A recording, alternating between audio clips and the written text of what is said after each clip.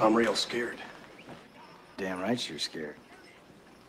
I can see that in your eyes. All right, Now, go ahead. Go ahead, skin it.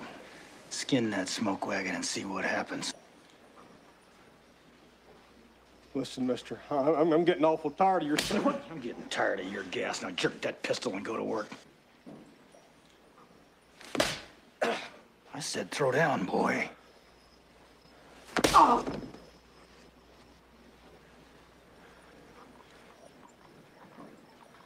You gonna do something or just stand there and bleed?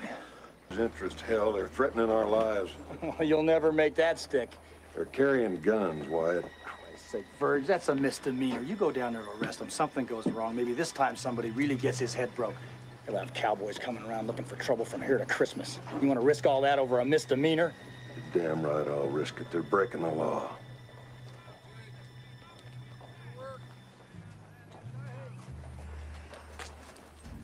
It's not your problem, Doc. You don't have to mix up in this.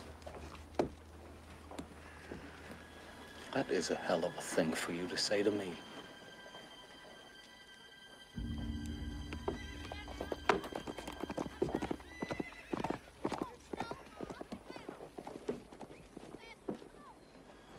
All right, Virge. Your call. Give Doc the shotgun. He'll be less apt to get nervy if he's on a street howitzer. What do you want, Ringo? I want your blood. And I want your souls. And I want them both right now. I don't want any more trouble. Well, you got trouble! And it starts with you. Not gonna fight you, Ringo. There's no money in it. Sober up. Come on, boys. Wretched slugs. Don't any of you have the guts to play for blood? I'm your huckleberry. Well.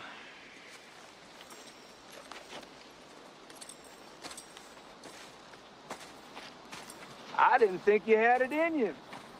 I'm your huckleberry. Why, Johnny Ringo. You look like somebody just walked over your grave. Fight's not with you, Holliday. I beg to differ, sir. We started a game we never got to finish. Play for blood, remember? I was just fooling about. I wasn't. Live for me. Why, if you ever my friend, if you ever had even the slightest feeling for me, leave now. Leave now.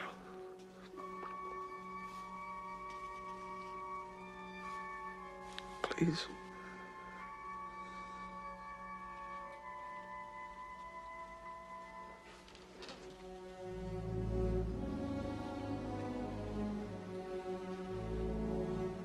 Thanks for always being there, Doc.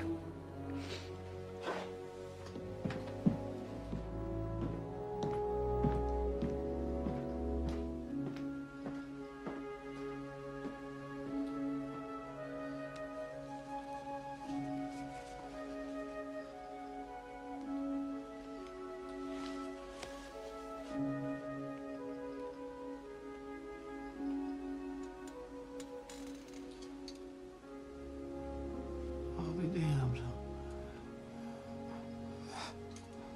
This is funny.